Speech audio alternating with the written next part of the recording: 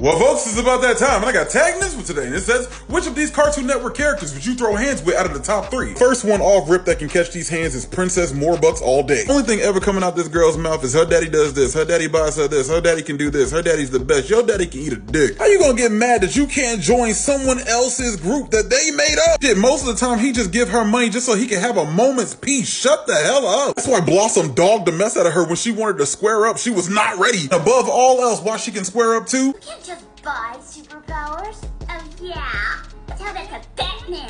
Of course she's a Batman fan. That's why she's toxic. Next is Sarah, and you know she don't need too much explanation. Would not be dealing with this catfish lip monster on a daily basis. Would be boxing her and them big ass soup coolers before she talks shit to me. The number one is definitely Eustace. Courage would be straight up minding his business to hear this jackass go scaring the hell out of him. Deserves more than a rolling pin cracked over his head. That's why your wife treat the dog better, you raggedy bitch.